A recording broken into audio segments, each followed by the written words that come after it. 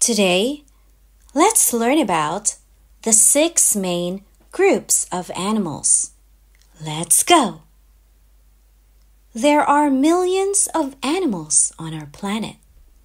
So, scientists created different ways to classify animals so that we can readily identify them. Here, we will learn about the six main groups of animals. The six main groups of animals are mammals, birds, amphibians, reptiles, fish, insects. Now, let's learn about mammals. Mammals are animals with hair or fur. They are warm blooded animals. This means that they can maintain their body temperature even when it gets really cold or hot outside. Mammals are vertebrates. This means that they have backbones. Baby mammals drink milk from their mothers. Some examples of mammals are deer, deer, cat, cat, fox, fox, dog, dog, zebra, zebra, mouse, mouse, cow, cow, lion, lion, monkey, monkey. While most mammals live on land, some also live in the sea. These animals are also mammals because their babies have fur when they are born. The babies also drink milk from their mothers. Some examples of mammals that live in the sea are whale, whale, dolphin, dolphin, otter, otter. Next, let's learn about birds. Birds are animals with feathers. Birds have beaks. They do not have teeth. They also lay eggs. Birds are also warm blooded animals. Birds are also vertebrates.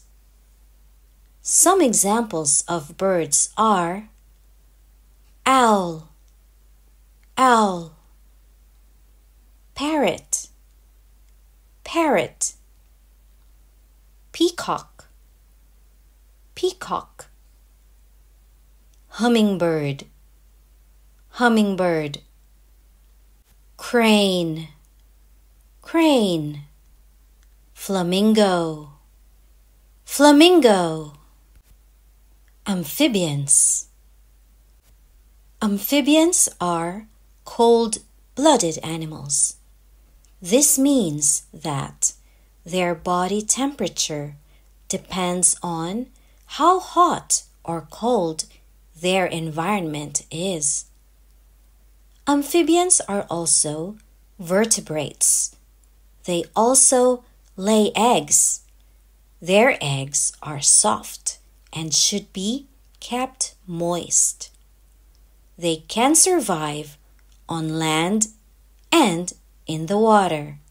Some examples of amphibians are frog, frog, axolotl, axolotl, newt, newt, salamander, salamander.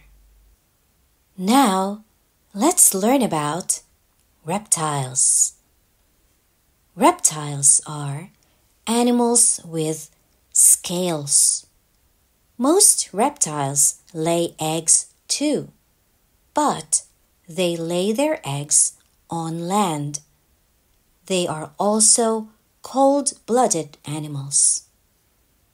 Some examples of reptiles are crocodile, crocodile, snake, snake, gecko, gecko, iguana, iguana, chameleon, chameleon, lizard, lizard. Next, let's learn about fish. Fishes are animals with scales. They are also vertebrates. They have gills that allow them to survive in water.